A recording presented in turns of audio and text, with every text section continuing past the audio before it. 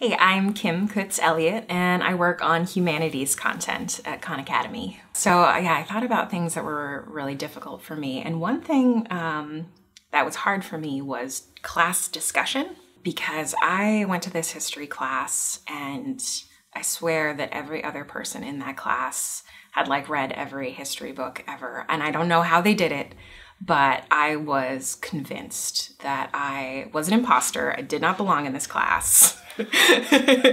Everyone else was just completely brilliant, um, and you know they would they would sit around and discuss these ideas, and they were kind of vicious. You know, say like, oh, you know, this textbook is wrong. Uh, this person had a, has a terrible argument, and I'd be sitting there thinking, yeah, but they wrote a textbook. Like, that's a pretty big deal.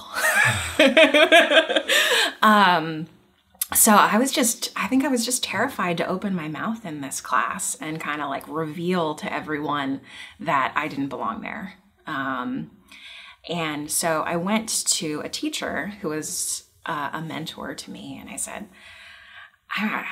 everybody's so mean. I'm just, I'm not this mean. And he said to me, You know, it's okay to be the person who says, What can we learn from this? And it's okay to be the person who wants to take something positive away from this class.